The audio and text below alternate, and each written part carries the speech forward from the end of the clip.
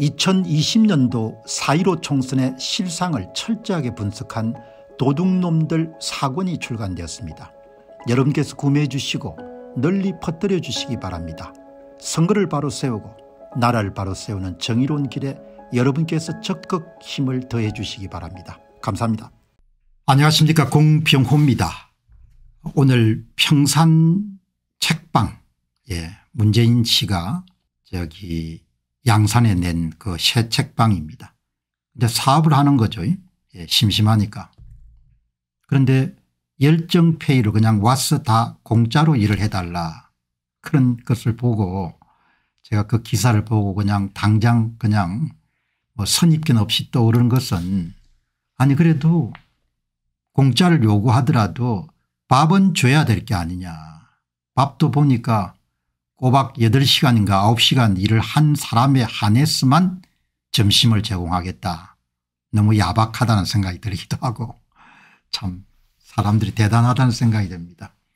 아니 자기가 책방을 열었으면 은 책방에 여러분들 사람을 쓰면 은 최저임금 정도는 지불해야 될 거 아닙니까 책방에 수익이 남을 건데 수익이 안 남는 일은 사업은 접어야 되는 것이고 그게 열정페이 공짜로 와서 그냥 일을 해달라.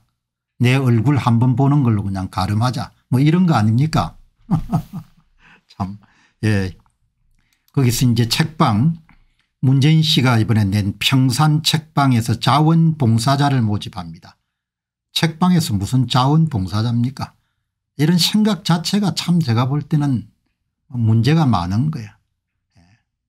사람을 쓰면 돈을 지불해야 될 거 아닙니까 큰 돈이든 작은 돈이든 간에 본인이 그렇게 여름 열렬하게 최저임금을 올렸으니까 최소한 최저임금을 줘야 되는 거죠. 평산 책방과 함께할 자원봉사자를 모집합니다. 모집 기간은 5월 5일부터 선착순 마감 예정이고 모집 인원은 50명입니다.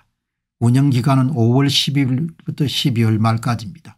여기서 제가 여러분들 참 눈에 거슬렸던 것은 오전부터 오후 종일 종일 봉사자만 식사를 제공합니다.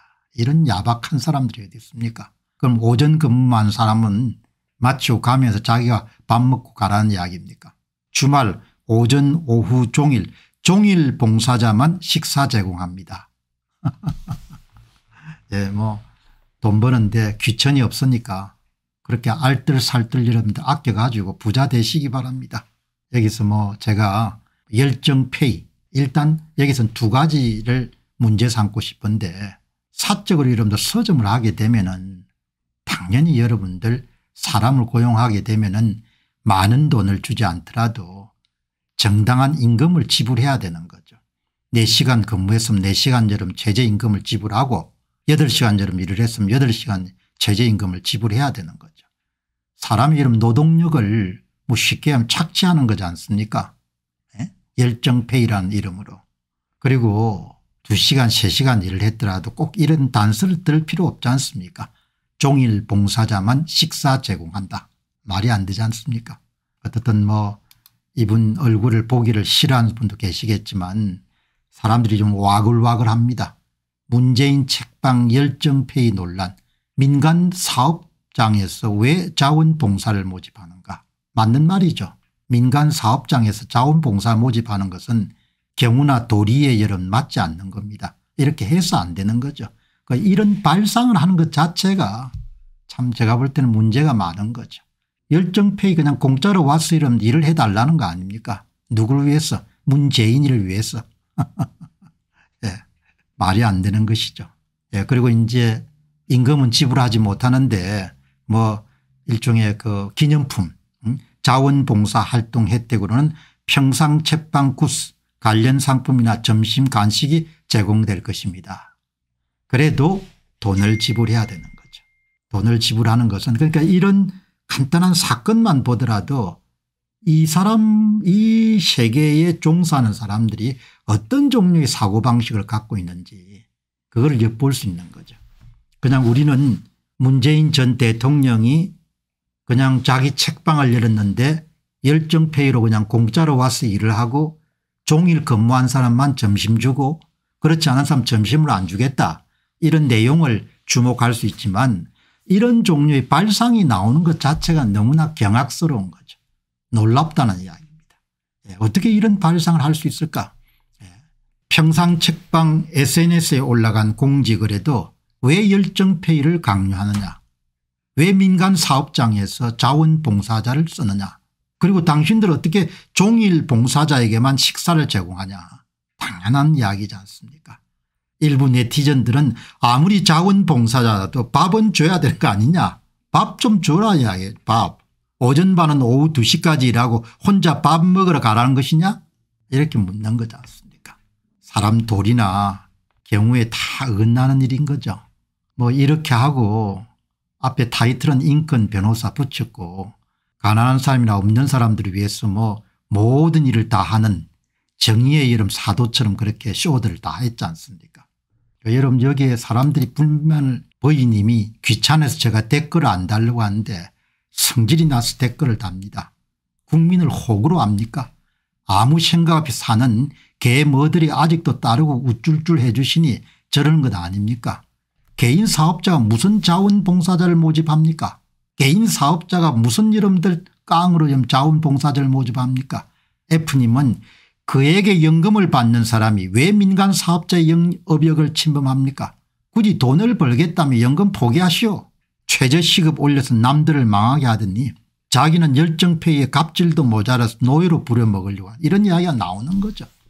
조금만 생각이 깊었으면 종일 근무한 사람에 대해서만 점심을 주겠다든지 열정페이 이런 걸 걸게 돼서 안 되는 거죠. 제가 보통 시민들이 어떤 생각을 갖고 있는지 궁금해 가지고 설문조사를 한번 벌려보니까 한 시간 정도 실시가 됐는데 설문조사 내용은 문재인의 평산 책방 자원봉사자 모집 중앙일보 5월 7일자 문재인의 과도한 열정페이 논란 여러분은 어떻게 생각하십니까? 1600명 정도가 참여했고 97%가 보수를 지불하고 사람을 쓰는 것이 옳다. 맞지 않습니까? 사람의 노동력을 여름 쓰게 되면 보수를 지불해야 되는 거죠. 많은 돈은 지불할 수 없지만 우리나라는 법적으로 최저임금제가 있지 않습니까? 예. 그다음에 2%가 공짜로 사람을 쓰는 것은 문제되지 않는다. 뭐 이런 사람도 2%가 되냐 세 번째는 잘 모르겠다 97%가 사람 쓰려면 돈 내고 쓰라 이건 거죠. 어떻든 간에 뭐 조용히 살면은 뭐 이런 논평도 안 할 건데 아마 뭐 집에 있어 보니까 힘들 겁니다. 예. 좀 더 쉬시고 하니까 그러니까 이제 이렇게 뭐 책방이 돼 가지고 결국 모든 것은 나중에 정치적 영향력으로 귀결되지 않겠습니까 문재인 씨가 무슨 책방에 가서 무슨 큰 돈을 벌겠습니까 결국은 정치적인 재기 시작을 향한 일종의 시작점에 해당하는 것이 평산 책방일 것이다 이렇게 볼 수 있는 것이죠. 어떻든 뭐 나이들이 지금 문 대통령이 한 70 가까이 돼갈 건데 참 뭐 철이 들라 이렇게 이야기할 수는 없지만 좀 생각 좀 하고 삽시다. 연금 뭐 많이 받는 사람에 비해 가지고 국민들 다 지금 살기도 힘들고 한데 그냥 뭐 와가지고 그냥 공짜로 무보수로 일을 해달라. 그건 아니지 않습니까? 상식적으로 생각해봐도. 도리로 생각해봐도. 정신 좀 차립시다. 여러분 문재인 대통령도 2017년도 대통령 선거에서 부정선거 있었는지 여러분 아시죠?